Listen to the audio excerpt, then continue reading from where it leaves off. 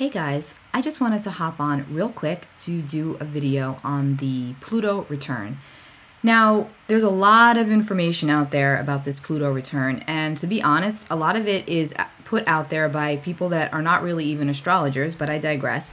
And there's a lot more to it than just Pluto return exact February 22nd. There's a lot more to it. And those of you that follow astrology, study astrology, or are astrologers yourselves, you know what I'm talking about. It is so much deeper than what appears, and there's a much more spiritual component component to this Pluto return. And so in this video, we're going to break that down um, of course, obviously, we're going to talk about the historical meaning behind this and why this is so significant for the for the United States and also for the other countries. And we're going to go into a little bit of the history of Pluto itself and what Pluto as the planet represents, because if the planets pulse through us, right? They, while they're not necessarily responsible for the things that go on, we definitely can put meaning behind events when we look to the planets. Now, I could also argue in this day and age, are things done purposely because of the planetary alignments? We don't know, right? We can argue that till the cows come home. If you ask me that question, if I were around in, you know, the 1700s and you asked me that question, I would likely say, hell no, right? Because we didn't have the outlets we have today. And astrology was basically done by hand, tracking the stars literally. There was no computer systems to do it for us. And so back then, I would say absolutely not. But in this day and age, we can argue that events are planned around astrology, right? I mean, why, why not? Like, like the good events are planned. I have clients that come to me and they want to, they're doing some sort of specific transaction and they want to look at their planets, their transits. And it's very, astrology is an amazing, helpful, and accurate tool for that. But when we're talking about a bigger level, a grander scale, the collective energy, the collective consciousness, even, how does that pan out? Right? So anyway, we're going to break a few things down in this video, but first and foremost, we are going to talk about the Pluto return and what does this significate for us. So I'm going to include the chart of the United States of America, which was born on December, December, July 4th of 1776. It's the Sibley chart. Yes, the United States of America has its own birth chart, if you didn't know that. And that is when the the time on that birth chart's 5:10 p.m. was when the Declaration of Independence was signed in Philadelphia, Pennsylvania. That's when the ink was wet on the Declaration of Independence, at least as it's recorded. That is known as the Sibley chart. So we're going to pull that up in a little bit. I'm also going to show you the chart of the Pluto return. But first, let's talk about powerful planet Pluto and what he represents in astrology. As we know, the planets pulse through us, and the planets are responsible for specific areas of life, okay? And by their movement and their triggers, we see what plays out. Pluto, powerful little Pluto. So, Pluto is a planet furthest away from the sun. He's out there in the ethers. He moves very, very slowly. His orbit, it takes 248 years for Pluto to go around the sun, okay? Full orbit. And so it's two and a half centuries. That's, you know, none of us will have a Pluto return personally, right? You know, the way we have a Saturn return, we will not have a Pluto return unless, you know, they preserve us, which, hey, might, wouldn't be too surprising these days. But um, no, but for real, we will not have a Pluto return. So think about that first. That's that's significant in and of itself. Pluto was technically demoted to a dwarf planet somewhere in the um, 80s, I believe, if I'm if my astrology my astrology is correct. I don't remember, but in my mind, Pluto is not demoted. Pluto is still very, very much a planet, very, very, very powerful, very, very impactful, and packs a punch in everyday life and in our personal realities, in our personal birth charts, our natal charts. He, we all have a Pluto. We all have Pluto somewhere, and what Pluto speaks to is extreme power because that's what Pluto represents. Pluto's power, Pluto's control, Pluto is um, our compulsions, our obsessions, our fears. Pluto's the ability to be deep and probing, and it's also very psychological. Pluto's like the planet of psychotherapy. He houses things deep underneath the layers of our soul and of our psyche. He's very powerful, he's very psychological. And a lot of times we suppress things because we know that they're there, but we don't want we don't want to talk about them because they're the things we don't like about ourselves. So this is why Pluto is often referred to as the shadow, okay? Shadow energy.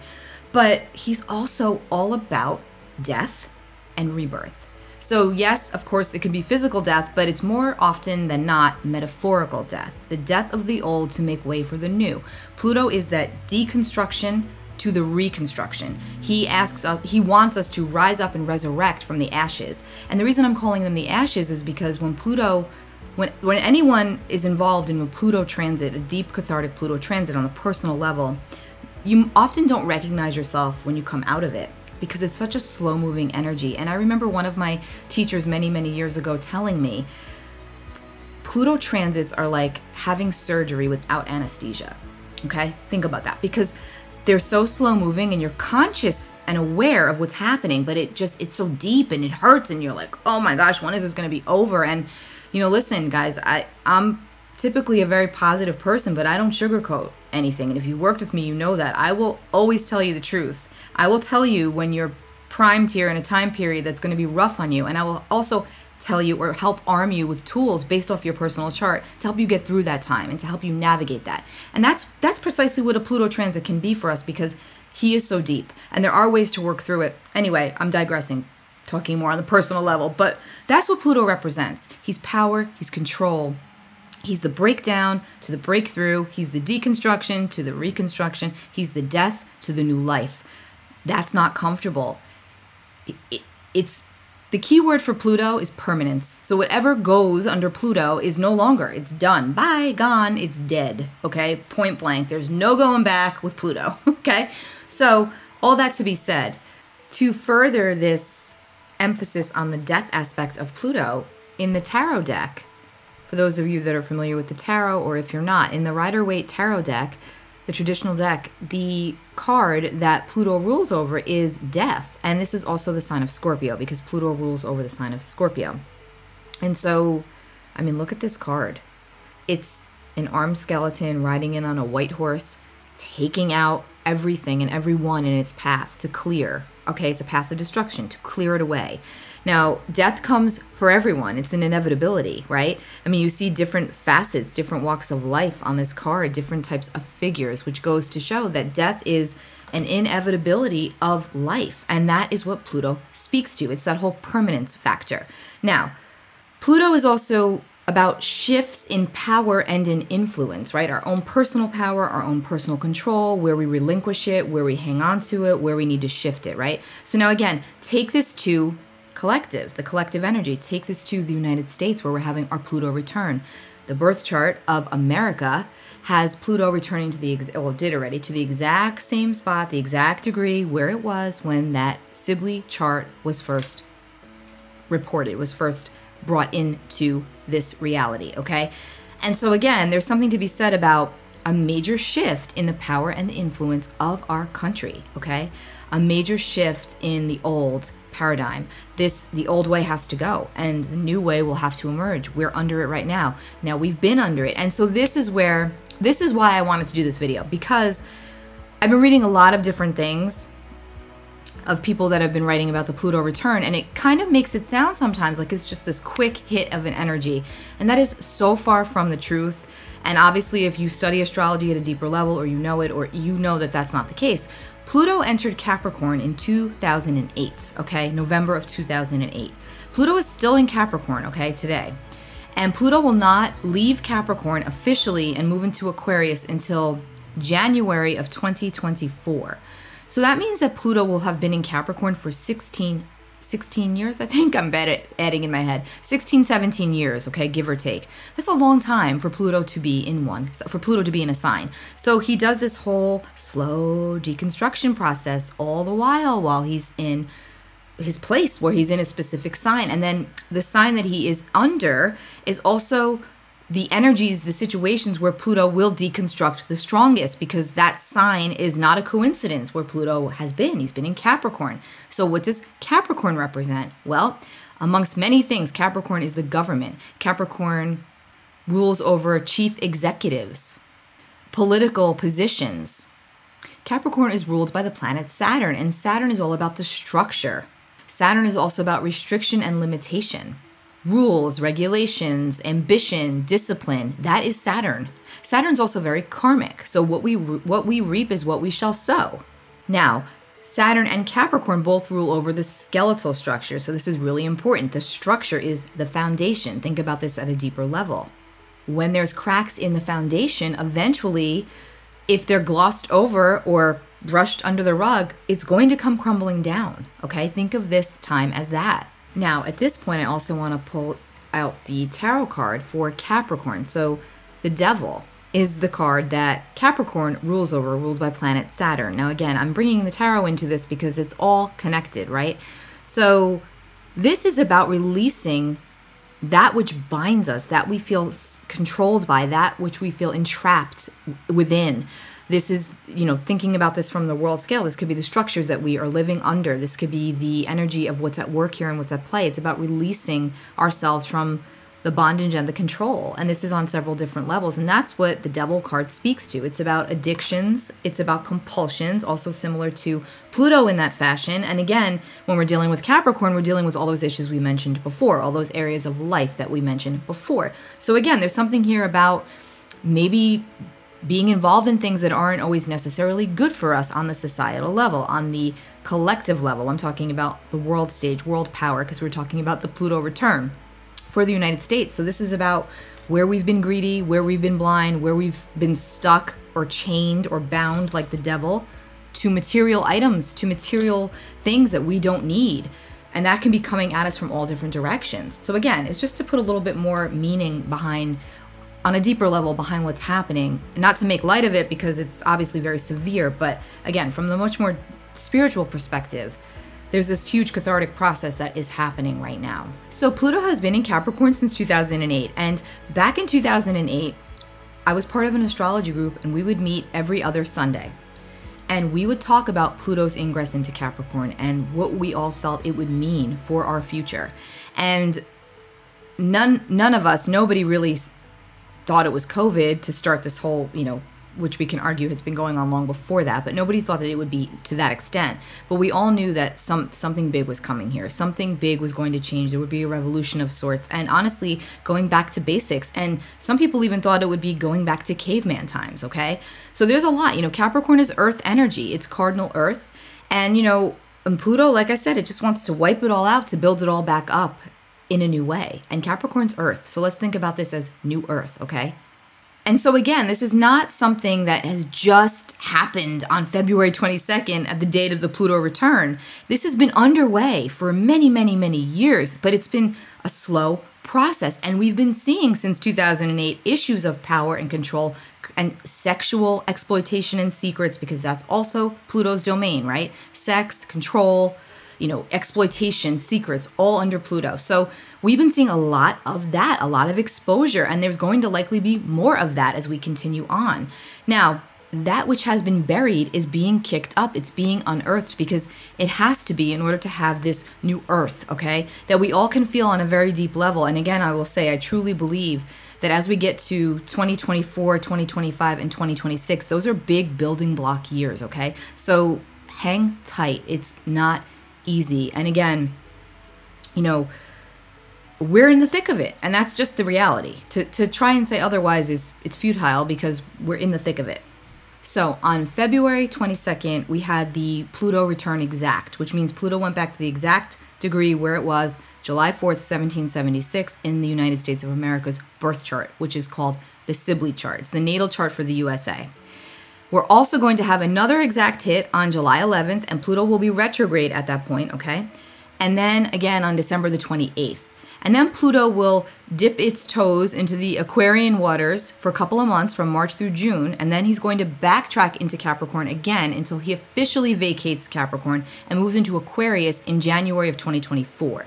Now, there's lots of different theories going on about this, but I think we can all say it's safe to say that we're going from the industrial times to the digital times, okay?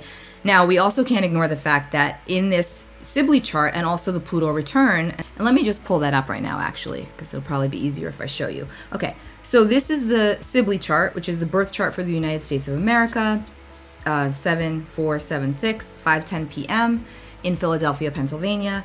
And if you look here, here's Pluto. He's at 2733 and he's in the second house. Now this is important because the second house is the house in the in a birth chart, in the chart that rules over finances and economics, okay, amongst many other things. Plus it's also our material items and it's what we own and it's what we've gotten used to hanging on to. And listen, there's no secret here that our country has been greedy in certain aspects and maybe taking things for granted or maybe ha- hanging on to things materially that we don't necessarily really need to survive, right? So, having said that, now if we go and we pull up the chart of the Pluto return, okay, which is the second chart, which is the outer ring. This is the Pluto, this is the chart for the Pluto return. You see Pluto here, exact 2733. Okay? Here's the natal Pluto. So it's it's right here, okay? Exact, exact position, second house, world finances, economics, power, control, exploitation, um, taking away the old to make way for the new. The old structures must collapse so that the new ones can be reborn, rebirth. This is Pluto, okay? Now, let's also mention here that the South Node, which if you follow the theory of evolutionary astrology, which I do, the south node of the moon is also connected to past karma that we've accrued. And so the south node says, okay, um, this is where we're coming from, and we want to release something here. And the south node here is in Aquarius, and it's you know it's an out of sign conjunction to this Pluto in Capricorn. But again, there's something here that says release the greed, right? Go back to basics. We cannot sustain the old way we just can't. It's just not possible. So this is very significant. And you know again think about think about this. Think about the death card. Think about you know stripping away the old to make way for the new. That is with that is what pluto that is what the death card speaks to. So again there's this big emphasis on the phoenix rising before our country. So everything I said about Pluto, take that and apply it towards the United States of America, okay? This is the major shift in our nation's power and influence. And how is that going to go? We don't know yet, right? We're in the thick of it right now. But I don't think it's, I think we have to all recognize, and I'm sure we all do, that there's something big at work here. There's something bigger at play. And I'm not, again, I'm not saying astrology is responsible for it. I'm just simply saying that when we look at this, we can see these power dynamics that are consistently being unearthed day by day by day by day. I also have to mention Neptune's role in these charts, okay? Because this is a big deal. Because remember, the shadow side to Neptune is that this is where we can be deceived and this is where we can be walking on the clouds or thinking everything is fine, but it's really confusing or under this web of, you know, fog where we just don't know. So let's look at the in the Sibley chart, which is the birth chart of the US, Mars is here at 21 degrees of Gemini. Okay, see this? Mars at 21 Gemini in the chart of the Pluto return, Neptune is here at 22 degrees of Pisces, so it's almost in an exact square. Square aspects are frictional. They they we it's something difficult for us. It's challenging for us and really hard to see eye to eye with this type of an aspect. It produces tension. Now Neptune squaring Mars speaks to confusion. So we're speaking to confusion around the image of our country. Now, furthering that is that the natal Neptune, excuse me, the, the Neptune in the birth chart of the US is at 22 Virgo right here. Now, this is opposite the Neptune in Pisces in the Pluto return chart at 22 Pisces. So it's almost in an exact opposition. And so, again, this is all about the nation's image, and this speaks to distrust. This also speaks to our nation's distrust and suspicion of the government of the press of corporations, it's at an all time high, and that's likely going to continue to increase. So, pretty interesting stuff, right? Now, I think it's going to be really interesting to see what happens as we move towards the age of Aquarius more and more and more because once Pluto enters Aquarius in 2024 officially, oh, let me backtrack a moment. This is also very important. So, Pluto's at 27, um, what degrees? He's at 27, 30, I, I don't even know, 27 something, sorry, today. When he, we know when planets get to the 29th degree, okay? That's that anaretic degree. It's very significant. It's very ramped up, okay? And because Pluto moves so slowly, he will be at that 29th degree for quite a bit. So he goes over some difficult terrain and some difficult territory. So, you know, are things going to ramp up? They might. You know, I mean, who's to say they won't, right? The energy's pretty intense right now. And um, the astrology is sort of, you know, showing us where this could be headed. But he does this dance, Pluto, because he goes forward and then he backtracks and he moves into Aquarius. He gives us a glimmer of what could come. And again, what's Aquarius? Aquarius is the sign of the future. Aquarius is an innovative air sign that speaks to robotics, technology, science. It's the evolution of science and technology, also society. And of course, again, we can't ignore the finance aspect, you know, the whole digital component that we've been hearing so much about. So we'll likely see a lot of breakthroughs in these areas. But then Capricorn will backtrack, I'm sorry, Pluto will then backtrack into Capricorn. So we may make a little bit of progress and then we may go a little bit backwards before we really truly progress. And so that's why I'm saying, you know, stay strong, maintain your faith, have hope, be optimistic. If you've never looked into growing your own food and it's something you've always wanted to do, you may just want to start doing that from now, okay? Things are shifting. No doubt about it.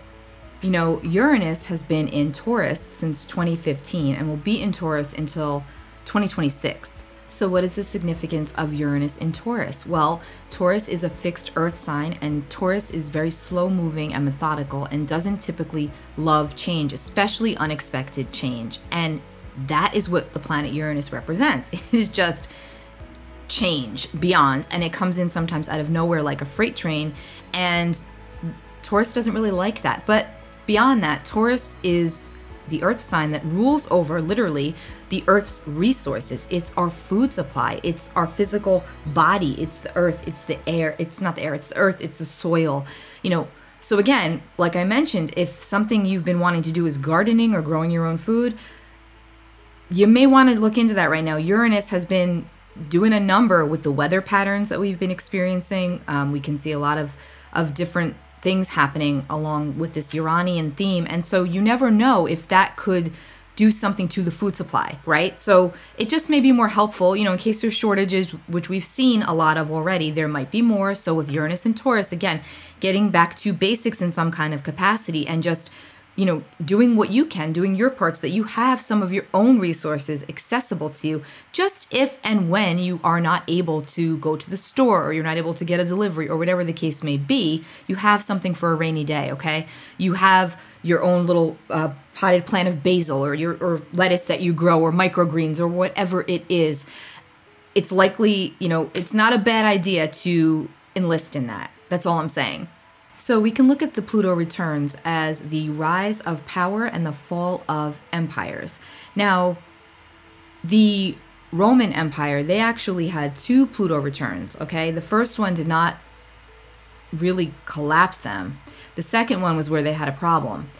England actually survived three Pluto returns, okay? So these this does not mean it's the dis- the complete destruction of a nation. It just means that it's it's a huge time of transformation and upheaval. So that that we can count on that for sure. We know that. Now I won't go into all of that here, but if you want to know more about that history with the Pluto returns for both the Roman Empire and England, I'm going to I've linked that article below. It's a pretty good article. I think it's from astro.com that goes into more detail about those errors and about what was experienced at those times, which you probably if you're a history buff you probably know this already, but you obviously might not be tracking this back to Pluto return. So this will be an informative read if this is something you'd like to research further. Now again, not to make this a whole tarot lesson, but I couldn't help but bring the cards into this video because I felt like it was really significant for the times that we are living under. So speaking of the sign of Aquarius, the card that rules Aquarius is the star, and the star is all about renewal and rejuvenation and healing after a time of potential illness and or distress. And again, this is speaking to the nation, our nation, okay? This is what this talks about. A time of renewal, filling back the cup. The earth is the earth's natural resources being replenished. Look at all the water in this card, okay? It's also equally important to mention that this the star follows the tower which is ruled by Mars and Uranus. And the tower speaks to, again, destruction and the clearing of the path. But this is before the star. So I always say that the tower is the calm, is the storm, right? And then the star is the calm after the storm. Okay? And so there's something here to say that sometimes we have to go through this destruction process to get to the renewal to, to restore our faith, our hope, our optimism. And remember, stars can seem very distant. So this may seem like a distant possibility right now, but it's still very much a part of the order here, okay? The order, the divine order. So please keep that in mind as we move along throughout these times that we're under because they are very stressful and extremely intense. I feel like I went all over the place with this. I did not have any kind of format to this. I just wanted to come on here real quick and talk about this because I've been getting kind of frustrated when I when I hear all these things about the Pluto return and it's it's been this ongoing energy and it is continuing. We are moving, we are cruising, we are changing. And again, when it comes to the personal life, again, look at what you can release, the attachments that you can let go of. The North Node's in Taurus right now, collectively. The South Node's in Scorpio right now. So again, this speaks to going deep into our psychological stuff, our psychological dungeon, right? Having our own psychotherapy sessions with ourselves and looking at those old habits and compulsions that we've been suppressing or hiding away for far too long. And Taurus, as the North Node, is the safe harbor for Scorpio. And Taurus is saying, it's okay, you know, come here, come in this direction. We'll heal. We'll heal together. And so think about that also for our country, for the United States. There's something here about having psychotherapy for our nation. And that's where we're at right now. That's never fun. Take really good care of yourselves. Be sure to subscribe to my channel so that you receive more updates. Also, you can subscribe to my newsletter on my website, lisasalvatore.com. And I'll talk to you all real soon. Bye.